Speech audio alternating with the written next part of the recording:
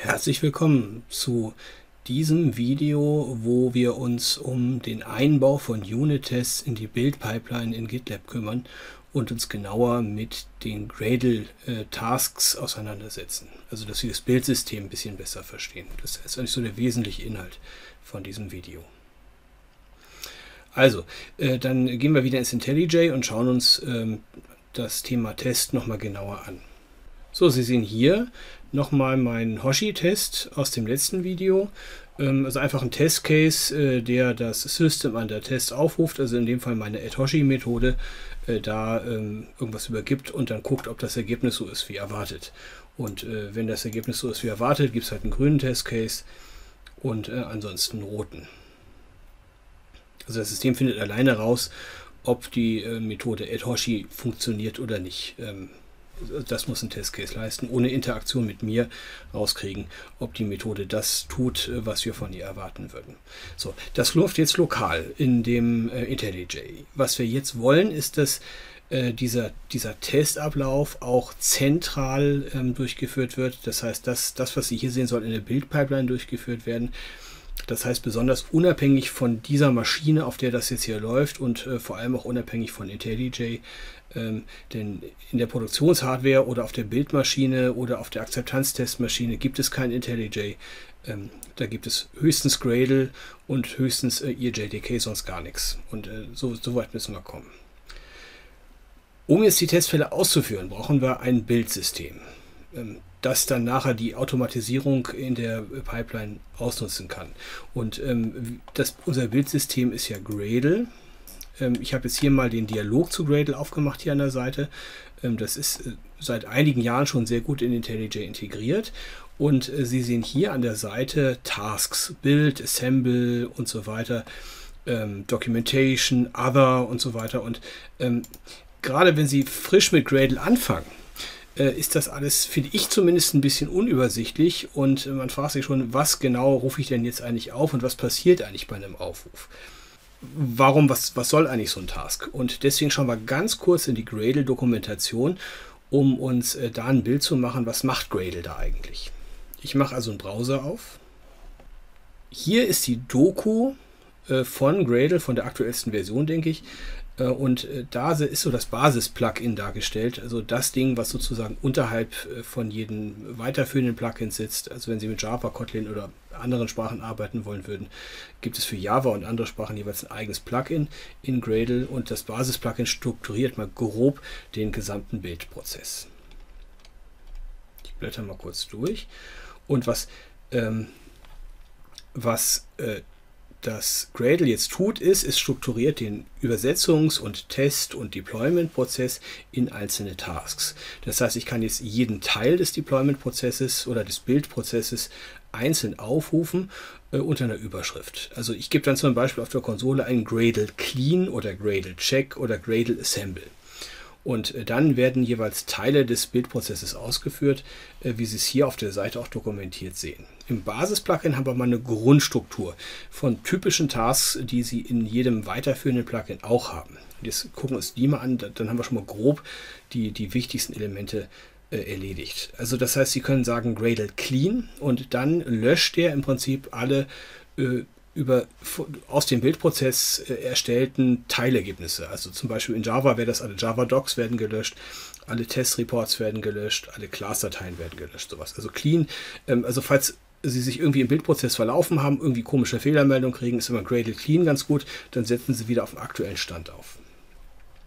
Was Sie dann machen können, ich äh, überspringe mal kurz ein, ähm, wir können äh, Assemble sagen. Assemble erzeugt äh, deploybare Einheiten. Ähm, zum Beispiel, wenn Sie ein Java-Programm mit Gradle Assemble übersetzen, äh, dann kommt da eine JAR-Datei raus, die Sie auf irgendeinem Server spielen können beispielsweise. Also Assemble macht Ihnen sozusagen das, das Zusammensetzen, wie der Name schon sagt.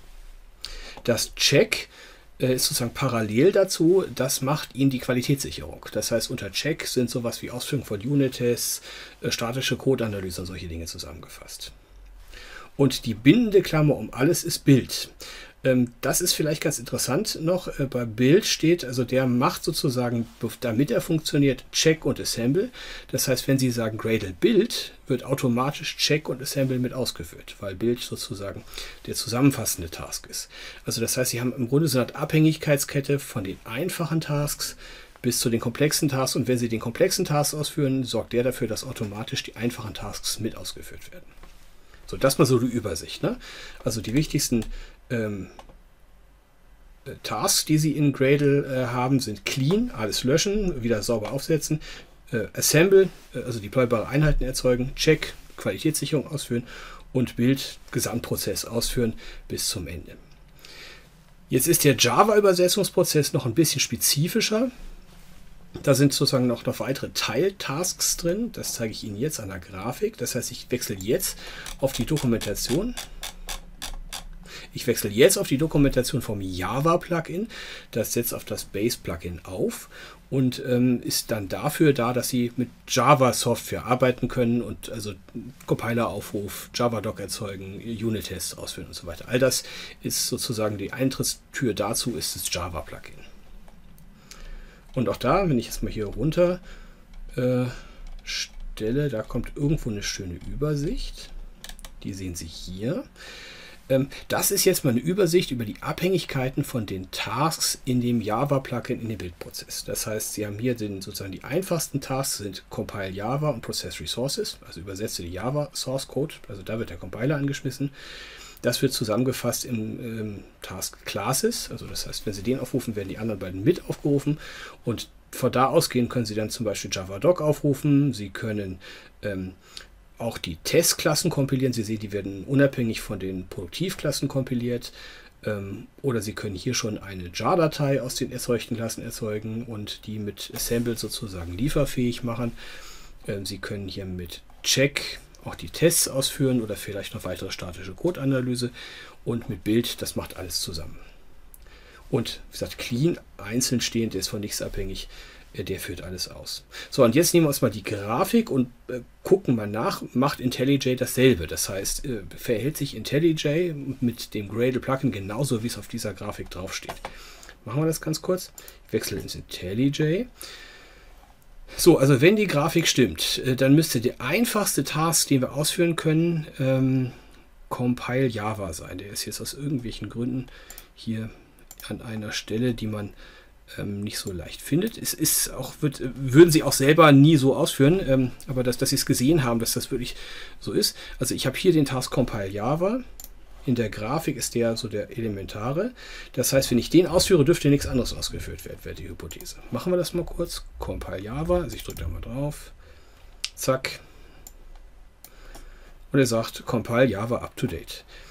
So, jetzt gehen wir mal ein bisschen weiter in der Grafik. Jetzt ähm, machen wir mal gleich ähm, statt äh, Classes jar assemble. Also wenn wir jetzt mal ähm, sozusagen die Sachen hintereinander ausführen, also wenn ich hier assemble sage, dann müsst ihr jar ausführen, classes ausführen und die beiden ausführen. Okay, probieren wir das aus. Das heißt, ich äh, versetze das System jetzt wieder in einen sauberen Zustand erstmal. Ich sage hier clean, das heißt, jetzt wird alles gelöscht, was relevant ist. Und dann sage ich ähm, assemble. Da, assemble. So, und nach der Grafik ne, müssten jetzt, ich zeige es Ihnen nochmal hier, Compile Java Resources, Process Resources, Classes, ähm, Jar und Assemble, die müssten hintereinander ausgeführt werden. Und zwar auch in der Reihenfolge, ne, wie, wie Sie es hier an dem Graphen erkennen. Und siehe da, oh Wunder, genau das ist passiert. Task Compile Java, Process Resources, da, da keine Ressourcen da sind, ist ihm das wurscht. Classes, Jar, Assemble. Also das, was zu zeigen war, ähm, das äh, Bildsystem hier verhält sich genauso, äh, wie das, ähm, wie das in der Gradle-Dokumentation steht. Wäre auch ein Wunder, wenn nicht. Aber das heißt, Sie können die Gradle-Dokumentation lesen und sich dann anschauen, ähm, wie das hier auch in IntelliJ funktioniert. Zweiter wichtiger Punkt ist, IntelliJ funktioniert auch, wenn ich jetzt hier so sowas wie ein Testcase ausführe. Ich mache das, zeige das mal kurz clean verwendet IntelliJ dankenswerterweise, das ist äh, entsprechend äh, eingestellt in den Settings, lief automatisch bei mir, ich weiß nicht, ob Sie da was machen müssen, wenn Sie jetzt hier Start drücken, ähm, jetzt habe ich ja alles gelöscht, also keine übersetzten Klassen sind mehr da und wenn ich jetzt hier Start drücke, dann führt der unter der Haube auch den gesamten Bildprozess aus. Und zwar mit Gradle. Sie sehen es hier sehr schön. Äh, das heißt, das hier, dieses Task Compile Java und so weiter, das hat der jetzt auch wieder alles ausgeführt. Und hier entsprechend Test. Äh, das heißt, er hat hier meinen Unit-Test ausgeführt und sagt dann hier, dass das äh, erfolgreich war und äh, ich habe ja nur eine Testmethode gehabt. Also auch beim Testen führt er das, macht das IntelliJ das übers Gradle. So, jetzt wissen wir, wie man das ausführt. Wie geht es jetzt weiter? Wenn wir die Testfälle ausgeführt haben, wäre es hier hilfreich, wenn wir uns das Ergebnis anschauen könnten. Ähm, das heißt, also irgendwie muss ja die, das Ausführen der Testcases Ergebnisdateien erzeugen.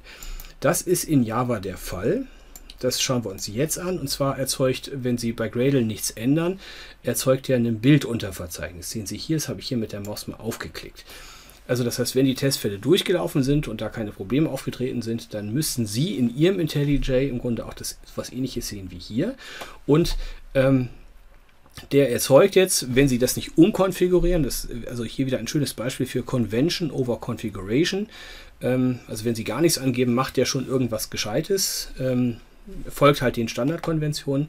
Und äh, wenn, wenn man das mal aufklickt, haben Sie hier zwei Unterverzeichnisse, in denen Sie was zu Testdaten sehen können. Punkt 1 ist das Unterverzeichnis Reports, Tests. Müssen Sie jetzt nicht merken, ich zeige nur, dass es da ist. Ähm, die Ausgabe sehen wir an einer Stelle. Wenn ich jetzt hier die Datei Index äh, HTML aufmache, ich mache das mal kurz mit Open in Browser. Aber nehmen wir mal den Chrome. Chrome ist immer gut. Sup. Videos hier auf YouTube, da muss man ja Google-Produkte verwenden. So, äh, und jetzt sehen Sie hier, das ist so die Datei auf meiner Festplatte, localhost äh, Seiersülz und dann haben Sie hier, ein Test ist äh, bestanden, das ist in DE THROVV Studienarbeit. Und wenn wir da mal reinklicken, haben wir Reactive System Test haben wir ausgeführt. Und äh, da, da, das hier ist dieser Descriptive Text, äh, den ich in meinem Testfall habe, das ist der Methodenname Shot Etoshi. Das hat er ausgeführt in äh, relativ kurzer Zeit, weil wir auch nichts Anständiges gemacht haben. Und dann haben wir hier einen Testreport. Das heißt, und die Datei kann man natürlich jetzt mit dem Bildsystem interpretieren. Also die könnte man verwenden, das ist ein HTML-Report oder irgendwo reinhängen.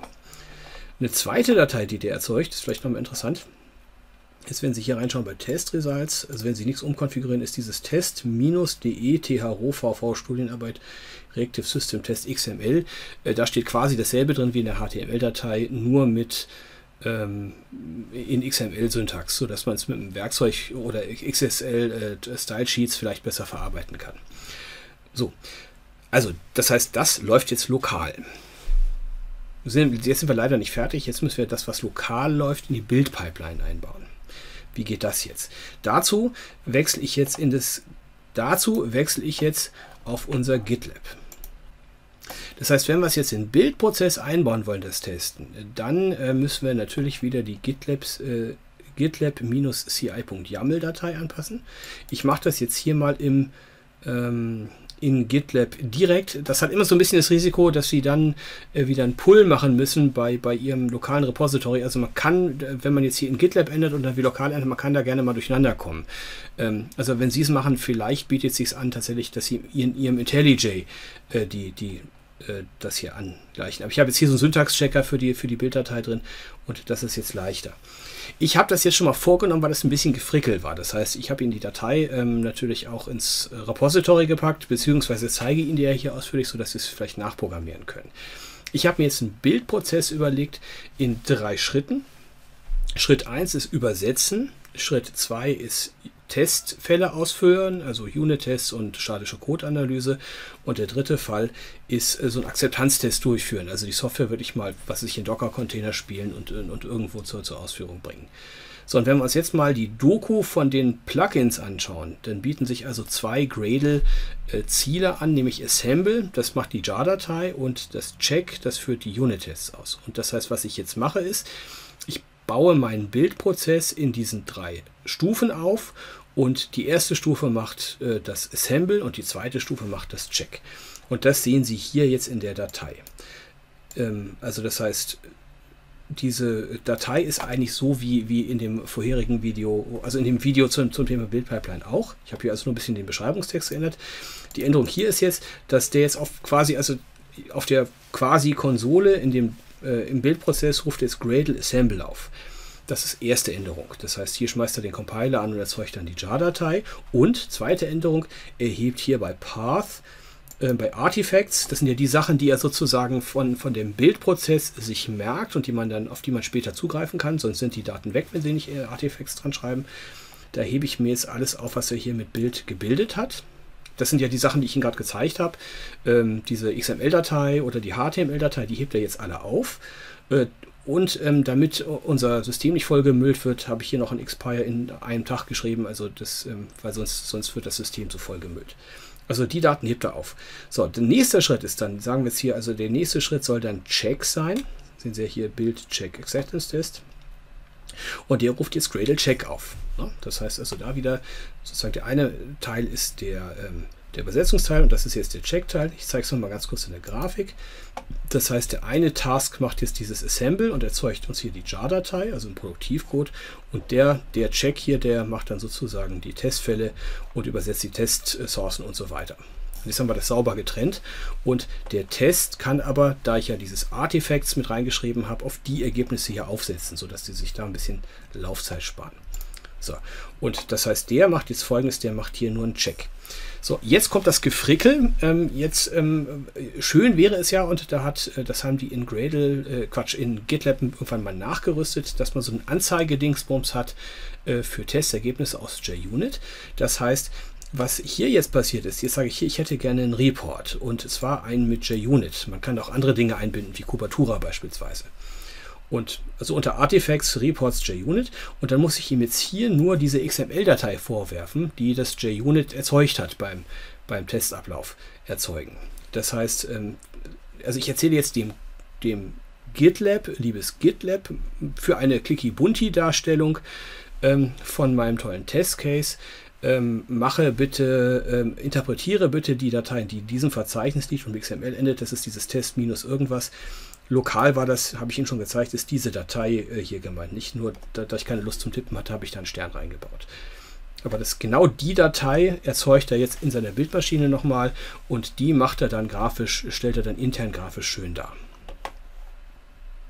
So. Und ähm, das heißt, das ist so der, der Testfall und dann unten drunter habe ich noch so einen ähm, Pseudo-Akzeptanztest gebastelt. Ähm, das war de, dieser Test, den ich äh, in einem der ersten Videos schon hatte. Der macht hier einfach nur den, ähm, das Executable jar startet der und ähm, der, der, der macht, also da ich jetzt an den Manifestdateien nichts geändert habe, führt er immer noch mal ein altes Hello World aus. So, wenn das alles erfolgreich war, also wenn Sie das alles richtig abgetippt haben und Sie keinen Syntaxfehler haben, das geht gerne mal schief, wenn man da irgendwie einen Space oder sowas äh, verkehrt drin hat oder irgendwas falsch geschrieben ist, äh, dann müsste das auf Ihrer Bildpipeline so aussehen. Also ich habe sozusagen den Source Code jetzt eingecheckt und jetzt kann ich mir hier die durchgelaufenen Unit-Tests anschauen. Ich zeichne das jetzt mal, was das Ergebnis des Bildprozesses ist, wenn das alles so toll erfolgreich durchgelaufen ist. Das konnte ich jetzt hier nicht schwierig nachstellen. Das heißt, haben Sie hier Bild Java Test, Java Acceptance Test, Bild macht das Assemble, Test Java macht das äh, Check und Acceptance Test macht ja diesen, diese Ausführung. Und jetzt gehe ich hier mal bei Bild Java rein und Sie sehen hier irgendwo, ähm, Sie sehen hier genau den Aufruf Cradle Assemble und dann läuft er hier irgendwie durch. Das ist also dieselbe Ausgabe äh, wie in meinem IntelliJ. Äh, dann mache ich hier den Test Case. Klicken wir da mal rein. Äh, auch da wieder gleiche Ausgabe wie im IntelliJ. Hier müsste es eigentlich so sein, dass, also hier müsste es so sein, aber vielleicht habe ich da noch was falsch gemacht, äh, dass der hier eigentlich dieses Compile-Java und so weiter, das müsste eigentlich schon haben.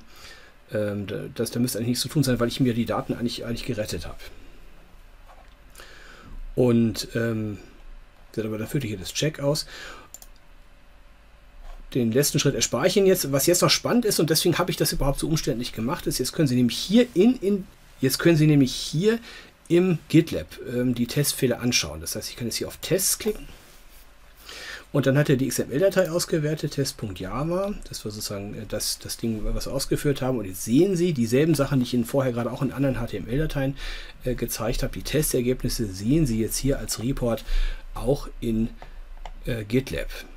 Ähm, das heißt, alle die andere Teammitglieder können jetzt ohne es lokal auszuführen, sich hier schon mal die ersten Testresultate anschauen.